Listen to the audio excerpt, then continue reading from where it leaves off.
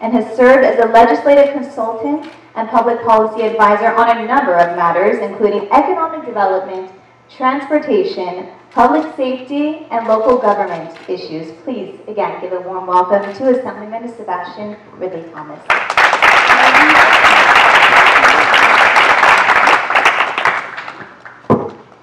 Another round of applause for our very skilled MC this morning.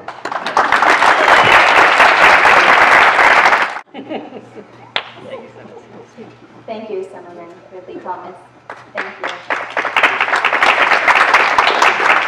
Making La Brea, making La Brea a health center of the community. That is a great thought. President Phillips, we are grateful for you, for your vision, for your leadership.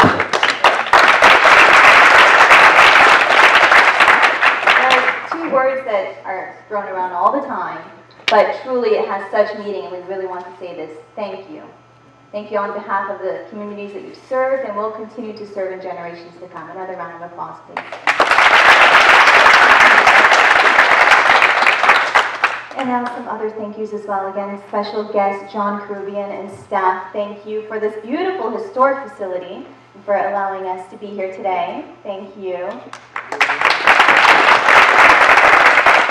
To all of our speakers, thank you for think, taking the time to come. And if you feel so moved, please go back to your constituents, go back to your communities, to your friends and your family. Let them know about the work that To Help Everyone Health and Wellness Centers is doing here, right here in Los Angeles. If for no other reason than just to inspire just a, a little bit of, for them to take a little step towards improving positive change, bringing about positive change in their own communities.